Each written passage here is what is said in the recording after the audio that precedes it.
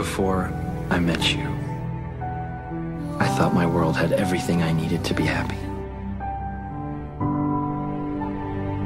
I had nothing else to compare it to. Then you walked into my life, and everything changed. I realized how empty my.